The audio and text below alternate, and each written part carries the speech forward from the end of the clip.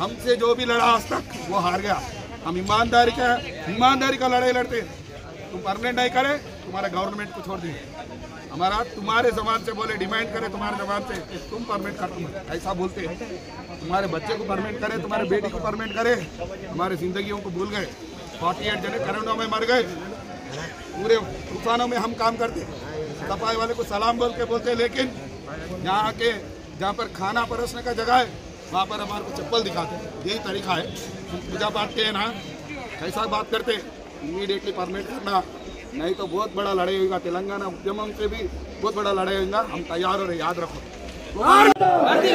చేయాలి చేయాలి చేయాలి చేయాలి చేయాలి చేయాలి ఔషధి కార్మికులను వెంటనే ఔషధి కార్మికులను వెంటనే హెచ్ఎంసీ ఔషధి కార్మికులను వెంటనే. హెచ్ఎంసీ ఔషధి కార్మికులను వెంటనే.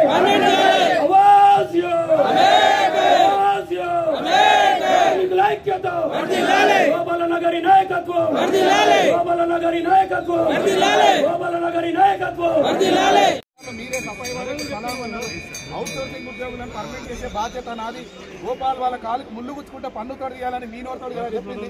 మీరు డిమాండ్ చేశారు కదా ఆ రోజు అవుట్ సోర్సింగ్ ఉద్యోగులను కల్పబెట్టి కాపాడుకుంటామని. మరి ఈ రోజు అసెంబ్లీలో మీరు కాంటాక్ట్ చేసేసి మిగతా పెడతారు.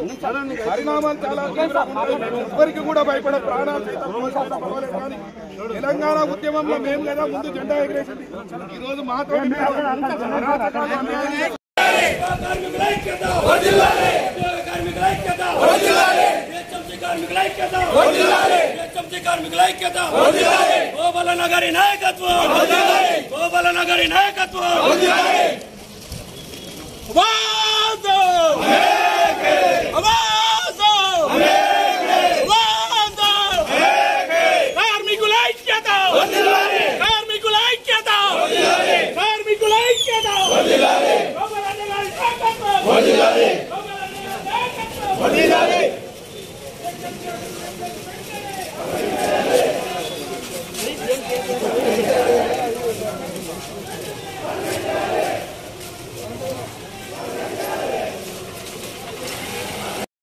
ఐక్యత హెచ్ఎంసీ కార్మికుల ఐక్యత హెచ్ఎంసీ కార్మికుల ఐక్యత గోపాల నగరి నాయకత్వం గోపాల ఆసియా!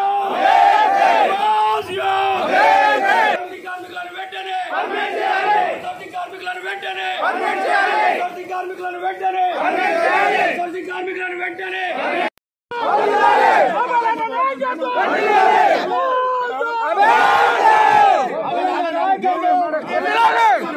గోపాల నగరి నాయకత్వం! మాట్లాడుతుంది ఈడ స్వతంత్రత ఉన్నది. తెలంగాణ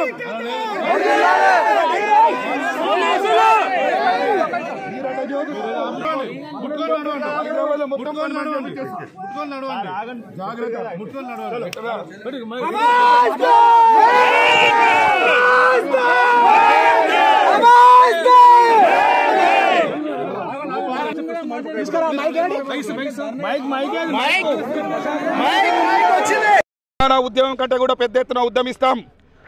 కార్మికుల అవుట్సోర్సింగ్ కార్మికుల కడుపు జ్వాలలో నీ ప్రభుత్వం తగలబడిపోతుంది. జాగ్రత్త ముఖ్యమంత్రి కేసీఆర్. లేని పక్షంలో నువ్వు పర్మిట్ చేయకపోతే అంతా పని ఆపేస్తాం. ఎక్కడికక్కడ ముట్టేస్తాం. నీ క్యాంప్ ఆఫీస్ మీద చెత్త లారీలు తీసుకొచ్చి చెత్తేస్తాం. జాగ్రత్త బిడ్డ ఇమీడియట్గా పర్మిట్ చేయి. నువ్వు అవుట్ అవుట్ ఆ కాంటాక్ట్ బేసిస్ వాళ్ళని చేస్తా వాళ్ళని చేస్తా వీళ్ళం తెలంగాణ ఉద్యమంలో మేము నువ్వడం బల్దియా దక్క తెలంగాణ పక్కా మర్చిపోదు. మేము చెప్తున్నాం ఖచ్చితంగా పర్మిట్ చేయాలి. అది మా డిమాండ్ నీ నోటితోటి చెప్పిన డిమాండ్. లేకపోతే పరిణామాలు చాలా తీవ్రంగా ఉంటాయి. హైదరాబాద్కి ఎక్కడికక్కడ పని బంద్ చేసేస్తాం. ప్రజలకు రకరకాల సర్వీస్ ఇబ్బందులు అవుతాయి. దానికి నువ్వే బాధ్యత వహించాలి.